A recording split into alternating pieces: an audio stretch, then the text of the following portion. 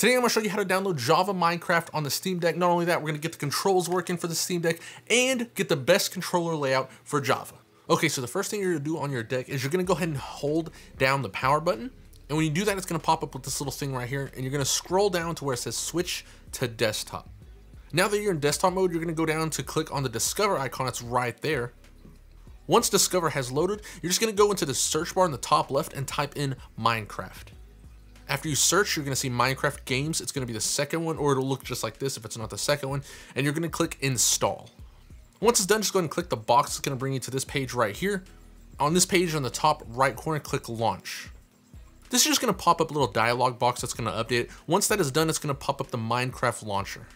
So there is one bug, and I don't know why it does this, and hopefully there's a fix soon, there probably will be, but it signs you out of Minecraft anytime you close the game. Every time you close the game, it's gonna close Minecraft and you have to sign back into Minecraft.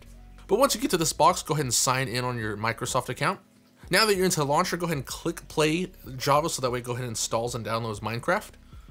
So once Minecraft Java Edition opens up like this to the main menu, you go ahead and close the whole thing. Once you've closed Minecraft, go ahead and go up to the Steam icon in the top and click on that to open Steam up. Once Steam is open, go ahead and go to Games and click Add Non-Steam Game up in the top left corner. And then you're going to go ahead and see Minecraft right here. Click on that, add the game. And the reason we're doing this is so that way when you load up your Steam OS and it's not in desktop mode, it's good. Minecraft's going to be right there for you to click on play. You don't have to go into desktop mode to do this. Once you see it though, go ahead and go back to gaming mode. Now, once you're in gaming mode, go ahead and go to the little controller icon right there. Now, once you click that, you're probably gonna have the default gamepad layout, which is okay, but it doesn't translate as well to Java Minecraft.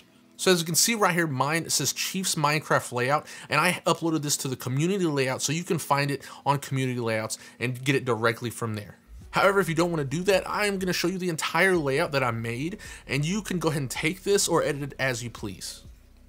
But if you do want to search it, all you have to do is click on the layout and browse the community layouts and look for my name, Chief Sweet or Chiefs Minecraft layout.